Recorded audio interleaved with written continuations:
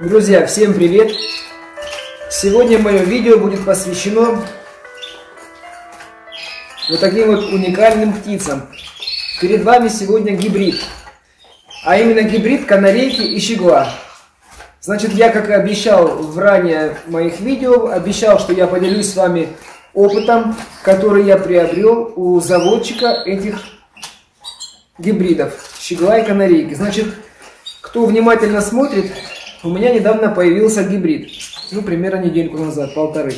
Вот, теперь перед вами два гибрида. То есть, их становится все больше и больше. Так вот, в сегодняшнем видео мы с вами поговорим о гибридизации, о кормлении, о содержании, ну и, собственно, как паровать, кого с кем лучше паровать, чтобы получить хороший результат хороших гибридов. Итак, друзья, забегу немножко наперед и скажу вам такую истину. Есть много литературы о гибридизации. Именно о гибридизации щегла и канарейки, много ученых, много авторов. Есть также много литературы о канар... канарейках, о попугаях, о всех этих декоративных птицах. Много книг написано. Но это все у нас будет теория. А на практике, друзья, на практике, вот, на практике все обстоит немножко иначе. В общем, нельзя сказать, вот я прочел эту книгу такого-то автора и тебе советую, прочитай, и будет все так же, как вот он написал, так и делай. Нет, друзья, я тут не согласен. В общем, гибридизация это такое дело, тут надо все-таки придерживаться какого-то собирательного образа. Вот там то узнал, попробовал, там то узнал, попробовал, там то. Там прочитал, там услышал, там посоветовали. И все, все по-разному, все по-разному. Итак, начнем, наверное, ну вот, изначально надо поймать щегла. Щегла лучше, рекомендуют лучше, конечно, ловить слетка, это молоденького, чтобы он дома отсиделся, стал старше, адаптировался. Ну, это рекомендуют так. На самом деле можно делать по-другому. Можно, вот смотрите, как значит делал заводчик, которого получились вот такие вот замечательные гибриды. У него за три года гибридизации было много разных ситуаций. Иногда он ловил, к примеру, зимой щегла, и уже через месяц, вот он в феврале поймал, в феврале у него посидел дома, и уже через месяц, в середине марта, гибрид, гибрид ой, щеглов пошел в паровку, пошел в паровку и покрыл канареечку, та удачно снесла кладку. Бывало такое, что у гибрида щеглы, вернее, разбивали яйца, разбивали зачастую. Он по неопытности немножко ну, допускал такие вот оплошности и яйца портились. Ну, а потом в дальнейшем все-таки он это учел. Ну, иногда тоже бывает, где-то просмотрит, какой-то проворный щеглов попадется, раз, яйца побил. В общем, э, по, по поводу щеглов. Бывает такое, что хороший результат показывает щеглов, который отсидел дома, допустим, месяц и дал хорошие результаты. Бывает наоборот, годовалый бывает два года. Самое многое сидел щегол дома у него три года. Три года сидел, и потом весной удачно пошел в поровку, покрыл самку, получили они гибридов. Вот это вот все по поводу щегла. Книги пишут, допустим, год надо держать, какая-то книга пишет, надо, чтобы вот он был слетком, потом он, надо, чтобы он пожил, восстановился. А на практике вот ребята, кто увлекается гибридизацией, тоже у каждого свой определенный какой-то как сказать, метод, что ли, или рецепт. В общем, у каждого есть свои какие-то навыки.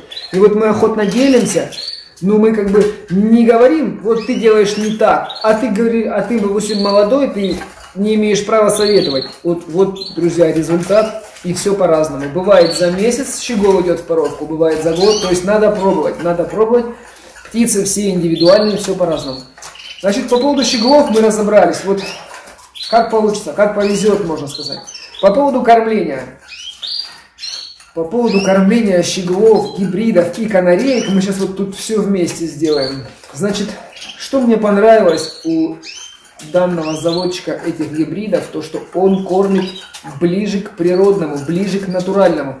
Человек не делает никаких кашек, малашек, там, допустим, вареное что-то там с чем-то, там что-то там перемешано, что-то там намешано, вздобрено. Нет, такого нету. Есть по-натуральному. Есть замочка, любое замоченное зерно. Есть пророщенка, любое пророщенное зерно. Есть ветки, ветки круглый год. Даже зимой человек умудрялся наломать веточек, поставить их в воду, занести в теплое помещение, почка начинала распускаться, и вот эти вот распущенные ветки, ну, обрежьте ту часть дерева, которая в воде, потому что она бывает скользкая, вот эти почки человек предлагал своим щеглам и канарейкам, то есть вот так птица зимовала. И в таких условиях птица зимует прекрасно. В общем, это по кормлению. Также, что касается травы, мы берем, вот как зачастую на некоторых форумах, да так при встрече, вот взяли травинку, там, помыли ее, чуть ли не раствором с яблочным уксусом обработали, там, или марганцовкой, но кто во что гораст. Во-первых, э, хочу сейчас немножко отвлечься от гипотезации. Вот раствор, яблочный уксус и вода это полезный, но надо знать, для чего он полезен и от чего он полезен. Но им не надо мыть веточки, жердочки, клеточки, травку, не надо мыть яблочным уксусом питание наших птиц. Это немножко уже в другую сторону яблочный уксус помогает. Но и то надо делать натуральный яблочный уксус. Дешевый, который в магазине, лучше не берите, это совсем не то. В общем, по поводу травы. В общем, вот растет, к примеру, куст одуванчика или куст мокрицы. Берем лопаткой вместе с грунтом, подкапываем вот это вот все. Вот я прям показываю, чтобы вы поняли, так, такой вот получается земля, корни там, корневища и зелень. И вот этот вот хороший пучок такой помещаем в вольер. Не в клеточке, а в вольер. То есть щегол должен жить в вольере. Ну, это по-хорошему. Можно, конечно, и в клеточке, но тут у вас будет немножко не то. В общем, вот это вот ставим, птицам предлагаем. Ну, конечно, надо смотреть, просто смотрите, чтобы там не было никакого там остатка птичьего помета, к примеру. Ну, откровенно птичий помет. И мы даем, и это даем. Нет, такое мы не даем. Мы берем визуально чистый кустик, чтобы там не было помета кошечки, собачки, там вот просто чистенький, травка и земелька, и корни. Все, вот это взяли, дали птицам. Птицы там и купаются в этой траве, и роются, и что-то там полезное, какие-то личинки, корни, все это едят. То есть там нет такой вот стерильности сумасшедшей. Стерильность это когда вот все моют, там намывают эту травинку. Нет, там остаются все бактерии, которые эти бактерии по, по, по природе они формируют иммунитет птицы. Так же было и у дикой канарейки, когда она жила на Канадских островах. А вот сейчас она у нас в клетках сидит, и мы боимся там палочку ей принести, надо ее обработать, надо ее в кипятке поварить. Да, успокойтесь, не надо ничего делать. Включайте здравый смысл, кормите птичек по природе, и все будет хорошо. И еще самое такое мне понравилось, главное, это как бы получается идет в основном к щеглу, ну и гибриду, и тут же канарейки привыкают и берут к себе тоже такое питание. И я вам тоже всем посоветую. Значит, берем личинки жука, старателя или жука-мучника. По поводу этого, если кому есть желание, пишите, я сниму специальное видео, покажу, какой жук, какие личинки, и все это полезно. В общем, щеглов кушает эти личинки в вольере. Здесь сидят самочки. Все это смотрят. И молодые самцы киноров тоже. В общем, суть такая, что большой вольер, там птице удобно, комфортно, там птица вообще шикарно себя чувствует. Она в природе такого изыска не испытывала. Там в природе то кто-то там машину завел, птица отравилась, умерла. То кто-то там вылил какую-то воду, птица попила. То посыпали соль на трассу, снег растаял, птичка попила и погибла, понимаете? Вот там надо бороться, а не нам тут, ой, не ловите щегла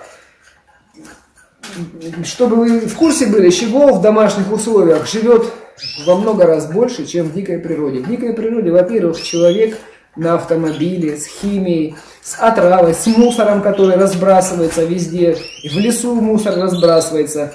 Но везде мусор, птица погибает из-за этого больше всего. Плюс травят, фермеры травят сходы там разные пшеницы, сады опрыскивают. Вот от этого гибнет щегол, гибнет снеги, и вся дикая птица в основном от этого. А гибридизация, она была не нами придумана, она была, есть и будет. И дай бог, чтобы она процветала. Но не в убыток дикой природе, конечно, все в рамках разумного. И, в общем, вот этот человек кормил своих щеглов, канареек и всех своих птиц личинками. Птицы охотно поедали. Канарейки смотрели за этим делом и тоже приступили пробовать личинки. Мучника, там жука-старателя. Вот. И канарейки тоже стали кушать. И вы знаете, я вот так посмотрел, птица, ну просто класс. Во-первых, крупная, во-вторых, такая статная, энергичная, никаких нету там хвост отвалился, что делать? Нет. У, у заводчика этого, зовут его Сергеем, значит, вот у дяди Сережи птица идеальная. Хвосты все на месте, шерсть, перья, шерсть, говорю, перья все в идеале. Нет такого, что там лысый затылок, ой, что делать, почему? Да, ребятки, да потому что вы кормите неправильно, ухаживаете неправильно и все делаете неправильно. Вот это мое мнение. А может быть, я, может быть, я сейчас, я, может быть, сейчас неправильно говорю. То есть, все познается вот в эксперименте, в опыте, в исследовании, в чем-то новом. А не так, что вот старая школа сказала, надо делать вот так, будем делать так. Нет, мы будем экспериментировать, мы будем добиваться лучших результатов, мы не будем останавливаться на достигнутом. Ну, в итоге я хочу подвести уже итог моей беседы по поводу гибридизации. Друзья, все методы хороши, все методы хороши, все варианты достойны и имеют место быть, все варианты. Кстати, друзья, самое главное, есть такое мнение, что вот щеглу, чтобы он пошел на паровку, чтобы он начал ерить, надо давать абрикосовые косточки. И многие так делают. И мне советовали. Я теперь вам советую. А в итоге потом, вот, допустим, на выставке я разговаривал с другими ребятами, которые занимаются гибридизацией. Они говорят, давали они эту абрикосовую косточку, где-то помогало, где-то не помогало. Кому-то помогал, хорошо помогал. Грецкий орех. То есть мы крошим грецкий орех, предлагаем щеглу, он кушает грецкий орех, начинает ерить, начинает проявлять активность и идет в паровку. То есть надо пробовать. Кто-то еще, кстати, есть вариант, чтобы давать вареное куриное яйцо. Еще можно давать вареное перепелиное яйцо. То есть смотрите, сколько уже вариантов. Абрикосовая косточка, грецкий орех, куриное яйцо и прочее, прочее. То есть нет такого, что вот надо делать так. В общем, друзья, кто увлекается гибридизацией, я желаю вам положительных результатов в этом деле. Никого не слушайте. Ну, я имею в виду критиков, кто вас будет критиковать. Нет. Если мы не будем экспериментировать, если мы не будем пробовать, если мы не будем ошибаться, мы будем все время стоять на месте. Так что, друзья, всего вам хорошего, вперед из песни. Подпишитесь на канал, продолжение следует.